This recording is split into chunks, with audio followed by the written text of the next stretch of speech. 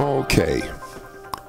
While we're over on this section, let's take a look at your children lines. Now, these children lines are represented by these vertical lines, and they come right off of that bottom ring of that pinky of that mercury finger. And these are uh, any any children that you build a strong bond with.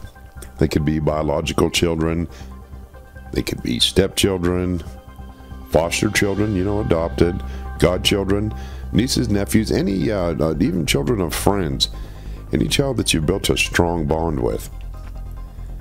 As we take a look, you've got two very strong lines here.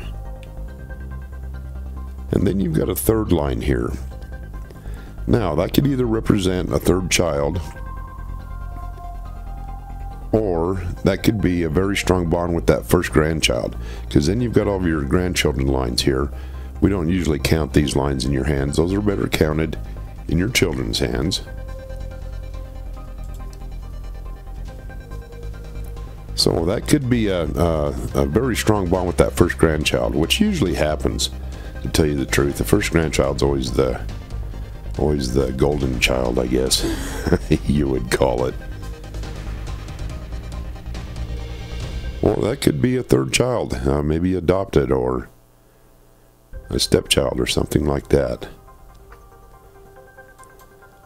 But regardless, it's a good close bond with all those uh, with all those children and grandchildren.